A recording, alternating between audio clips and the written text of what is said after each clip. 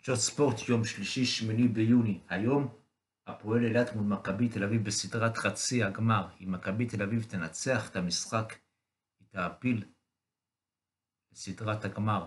לפני המשחק מובילה מכבי תל אביב 1-0 בסדרה, בסדרת הטוב משלושה משחקים.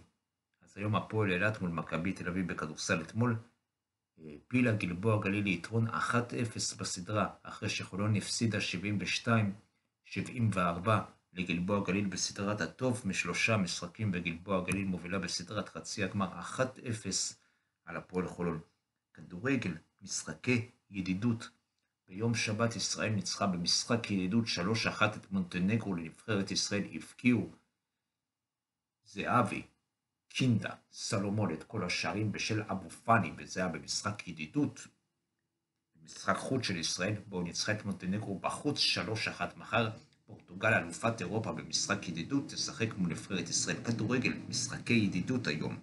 פולין מול איסלנד, הונגריה מול אירלנד, צ'כיה מול אלבניה היום במשחק ידידות, ספרד מול ליטא, צרפת מול בולגריה.